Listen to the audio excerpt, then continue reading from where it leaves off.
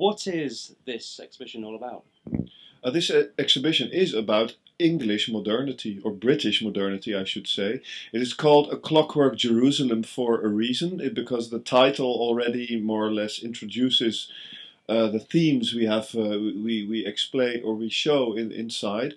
Uh, on the one hand, clockwork, clockwork orange, uh, the, the famous uh, dystopian futuristic uh, film uh, by Stanley Kubrick that used the then brand new Thamesmead uh, development in London as its backdrop. Jerusalem is the new Jerusalem as it features in the poem by William Blake, which really, to our mind, introduces is the, the kind of the source code of mod modernity.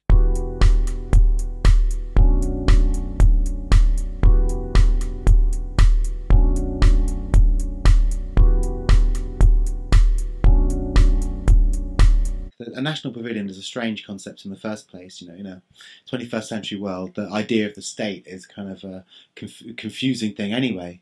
So to to, to work with Wouter and, and Crimson uh, was was a kind of way of evading a certain kind of parochialism that, that often pervades a national pavilion. As much as, it, as it's a show about history that, that uses history, it's actually really about an, an argument for what architecture and planning uh, can and should be.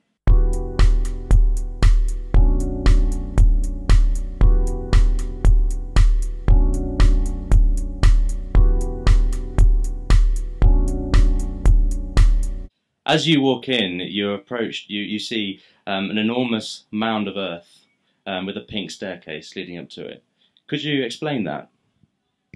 Well, over the course of the, the research that, that, that we undertook, it, it became apparent that actually the the, the, the, the strange and perhaps unique feature of, of British architecture is the mound. And the, the mound um, that we've constructed here is a mound which is every mound. It's the mounds of Neolithic Britain, the, the giant earthworks of Silbury Hill, for example, part of the landscape of Stonehenge and, and Avebury and so on. So the mound is a sort of representative of a, of a certain kind of uh, feature, but it's also a provocation. It's it's also something which represents a burial mound, a kind of end, but but at the same time, the construction site, the place where things can begin. So, in that sense, it's an incredibly symbolic gesture we feel to, to, to place you know this this huge mound of earth in the centre of the, the British Pavilion.